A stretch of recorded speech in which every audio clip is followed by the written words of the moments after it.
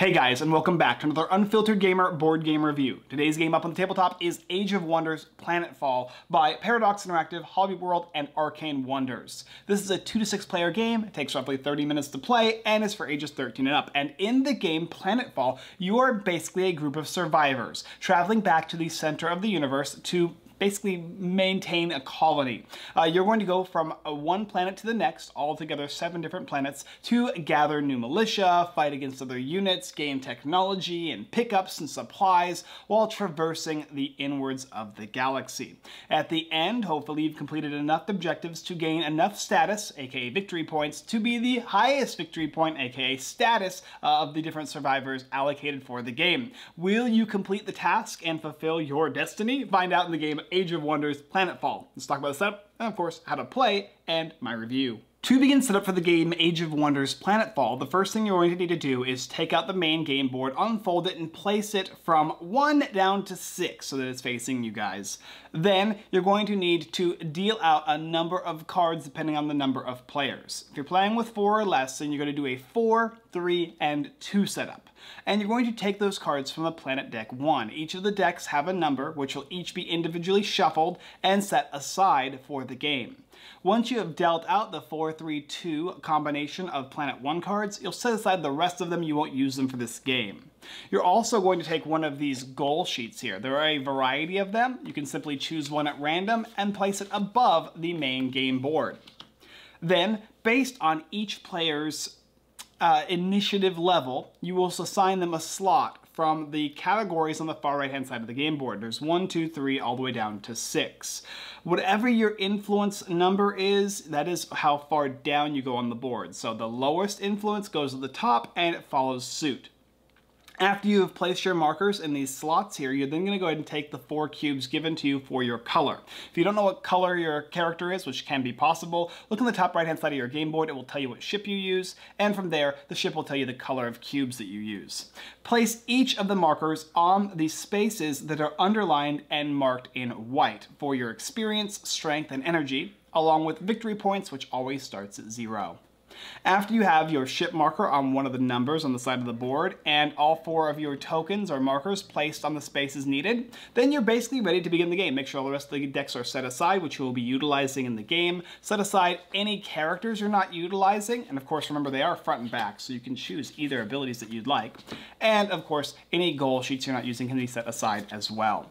All right, pick a first player by you know, look at the first player, but look at who is number one, and they're gonna start the game off. Planetfall is done over seven rounds, and in each round there are five phases.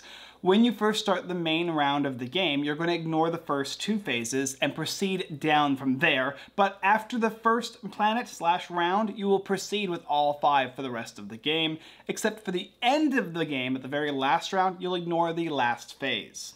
Phase one is discovery. It's where you're basically going to be putting out all of the cards for the new planet down on the board, following the number of players you have assigned. In this case here, I'm playing two, so I've got four, three, and two cards. They're going to go in these slots here. Um, and then after you've placed them down, you'll simply move to the next phase, which is an income phase. Income's pretty simple. Whatever gives you income is going to give you income. Is it cards on your field? Uh, is it your specific character itself? Whatever that might be, you'll gain income. And income can come in a variety of ways. It can come in strength or energy. Um, after you've gained all of your income, you're going to move to exploration. There are two parts to exploration. So it's ex it's going to be the um, basically the discovery, the income, explore one, explore two. When you explore, this is the main part of the game. You're going to take whosever marker is at the very top of this track here, and they will go first, placing it on one of the cards or operations on the main area. When they place, then the next player is going to have an opportunity to take theirs and place it anywhere they would like as well. Once everybody is placed, that will end the exploration phase as long as everybody purchases the cards they have been placed on. So in this case here, blue is going first. They placed it on a technology card called Unshackling. They're going to need to pay the cost, and then they will take the card and they will place it adjacent to the main game board. This is where you're going to be building your tableau, getting new cards each and every round then green is going to have the opportunity to pay or gain the benefit of whatever space. After you go ahead and gain the cards that you placed the, uh, your, your markers on, you'll place back your character marker on the track. And the way that works is the person who places farther up and to the left than anybody else is the person who's going to activate their card first after placement, and they're the one who are going to go on the top. Where if you go farther to the bottom and farther to the right, you are going to go last. And a good example for this is if I am blue and I'm going first and I place my marker on this pickup item, which is in row three on the first column, and then green picks row two on the second column, then we're gonna go from top to bottom, left to right, and we'll check until we find the first person to place on the card. Then they will take the card, pay for it and put it over where they need it to go. And then the next player is going to take their card and once again rinse and repeat the cycle, placing your markers up on the board. That's how you determine turn order for the entire game. Then you're going to take another exploration action. You will place on a card and or operations area, and then you are going to fulfill it and gain whatever benefits that the card might have for you, placing your marker back on the track here, thusly changing the turn order for the game. There are a variety of different cards in the game that uh, you're going to need to know about. So let's go ahead and cover a few of them, or all of them, I should say. Uh, the first one is Pickup. This is a yellow looking card. It's in the top left-hand corner. The name of the card is in the middle, and what planet it's under is on the far top right. So this is planet one. There's no other pickups like this in any other planets. On the left-hand side, this is the cost, and this will be the cost for every card. Uh, sometimes they'll have alternate costs, but the top portion of it will tell you what type of cost it is and how much of that it's going to cost or give you based on the row it is in, the row being the operation level. If this card was in operation level 1, it's going to give you 2 energy. So as opposed to costing you anything, this specific card, the pickups, are going to give you value. If it was in row 2, it would be 2 energy, and if it was in row 3, it would give you 3 energy.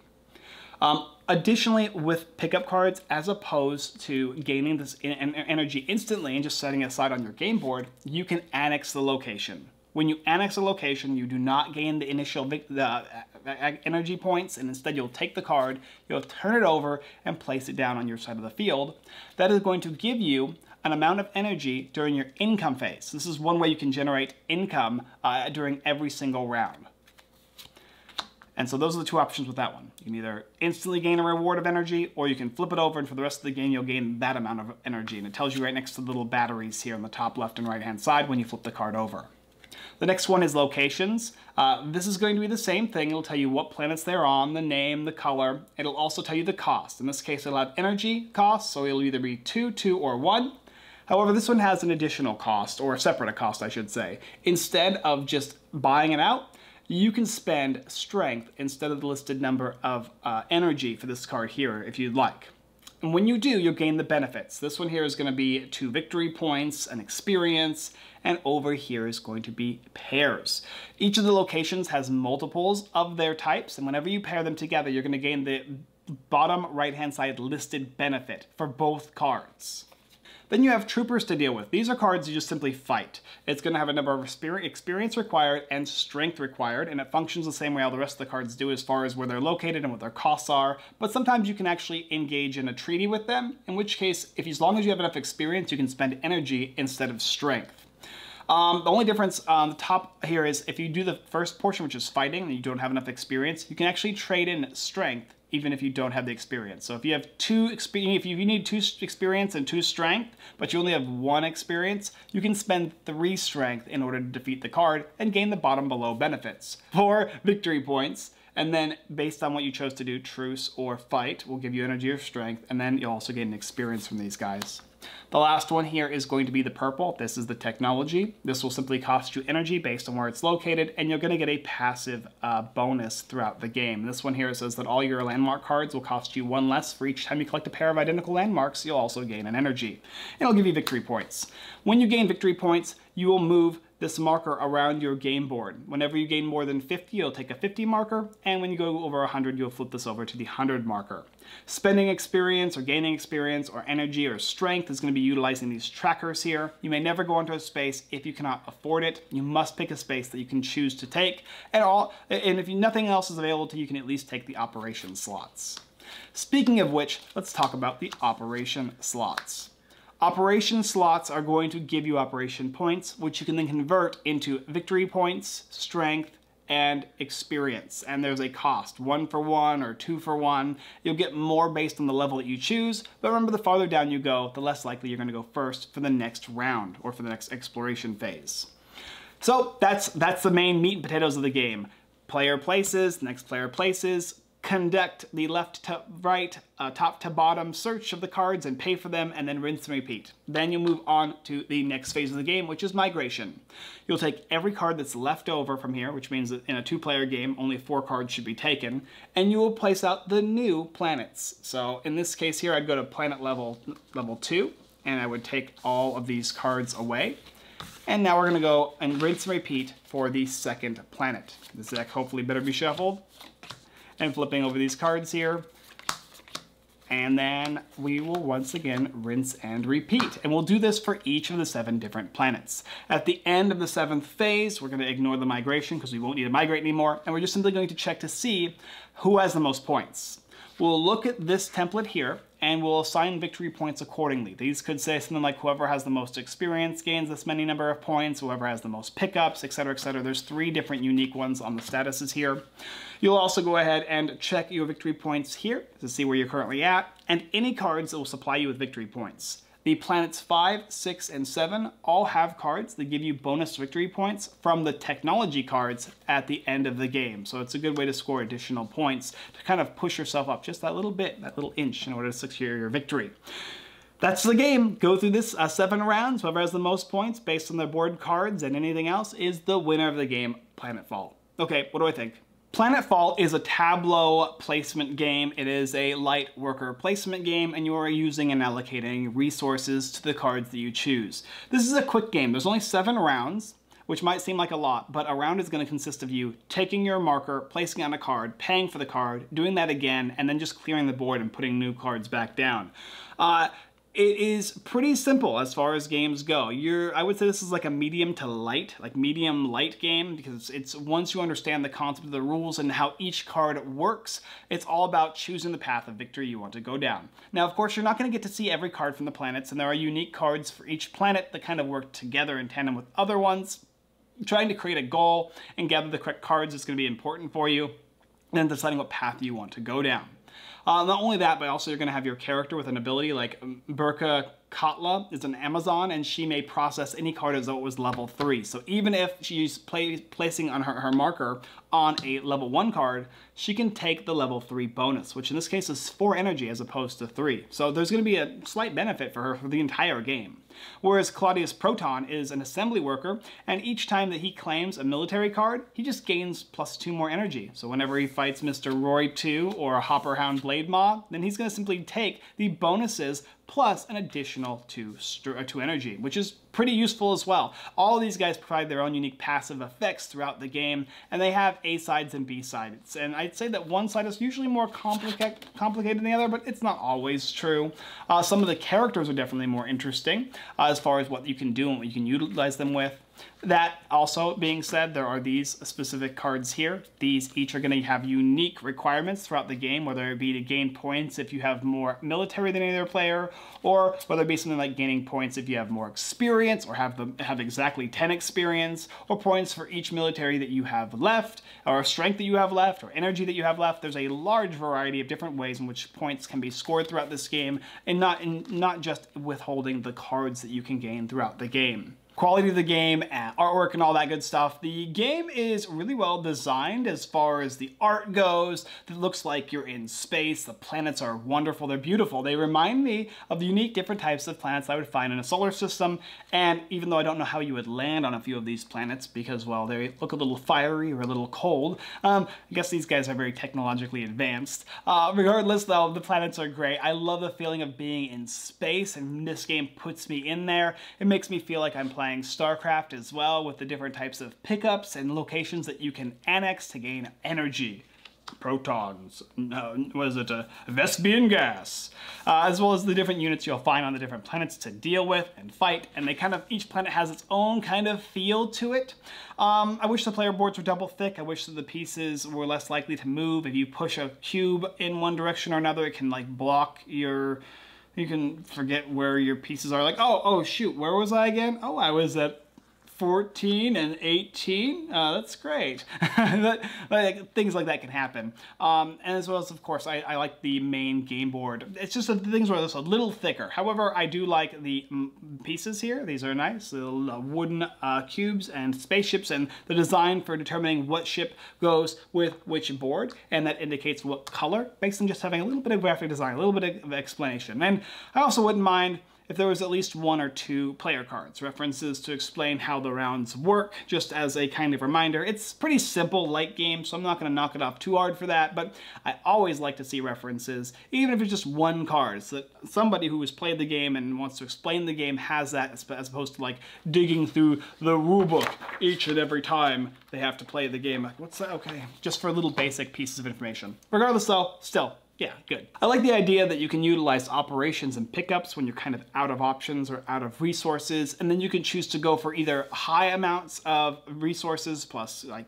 victory points by defeating military units. You can go the kind of combo route if you want when you want to deal with the technology cards. These guys are going to give you passive abilities, passive benefits, and you can choose to maybe make a slow burn as opposed to a quick and hit them hard and get as much as you can. Locations are kind of a way in which you can pair them up. If you have like a synthesis network and then you get another synthesis network, you're going to get double bonuses for these guys, but you have to make sure that you, that you prioritize the specific cards that grant you pairings. And of course, they also just give you victory points and experience on their own. But yeah, it, the, the other thing is operations. Operations is kind of a last-ditch effort. If you don't have any cards that you want, you want to pick the lowest the highest most of the time to gain as many points as you can to then trade them in for victory points, strength, and experience. Sometimes you might just need one more experience in order to get to 10 to get those 7 victory points. That's where operations and or pickups can come in handy.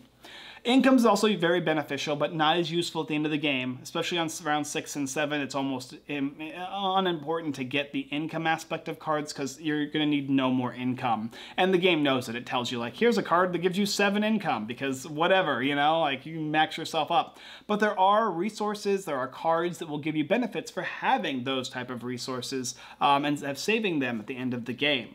This game reminds me of It's a Wonderful World, the game about tableau management. That game's more of a drafting game. This game is more of a worker placement game, but they fit in the same type of niche. Now, of course, this one takes place in Planetfall. This is where you're a group of survivors trying to, well, survive and, and uh, visit the inward planets. But there is a very, like, similar complexion that these both these games have, and they're both very enjoyable. The only one really negative I have about this game, my wife loves this game. Uh, my only thing was I really wish there was even more cards in the planet decks, especially when you're playing with a lot more players. That way it can be mixed up if you play again, otherwise you'll see the kind of the same cards. Um, it's not a terrible thing. There's a lot of different variations that provide you with each of the planets, and it's kind of meant to be low resource management and like hard choices, so I don't necessarily fault it for that. But I'm hoping that if this game does well enough, maybe they'll see some expansion content for it to give it even more uh, of a more chunkiness to the game. Um, as it stands, though, it is a fun game. It was a very enjoyable game. We played this on our live stream and really, really enjoyed it. It's quick and it's simple to explain. And if you like Planetfall, this is an easy pickup. If you really like this video game, then this is a really cool game that fits in that world and is a fun, fun game. If you're looking for something a little bit heavier, a little bit more content, then it's probably gonna be It's a Wonderful World for you by Lucky Duck Games. But nevertheless, this is a great game. I really enjoyed it. I'm gonna keep this game. Thank you guys for watching another Unfiltered Gamer board game review the game uh, Age of Wonders Planetfall. If you're interested, there's a link down below in the description where you can go and pick up the game. And also, if you would like, you can hit that like button and the subscribe button and the bell notification button. I know those are extremely fun things to do that I do consistently as well, but if you're so inclined, we do appreciate it. Uh, you can also check out our live streams every Sunday at 6.30 p.m. PST we play games literally just like this one. We had this on our last one. Sadly, I reverted the camera but I didn't fully, I, I, turned it, I mirrored it, but I forgot to mirror it both ways, so it looks a little funky. It's easy, I can still understand how the game works and whatnot, but it wasn't as perfect as I would have liked it to be. Regardless though, it's a good way to watch games. When you watch games and you watch people play them, see their interactions, see how the game interacts and how it works, it's a good way to determine if it's a game that you and your group, your play group will enjoy. Thank you guys so much for watching, and as always, I look forward to venturing into the inner planets with you yet again next time.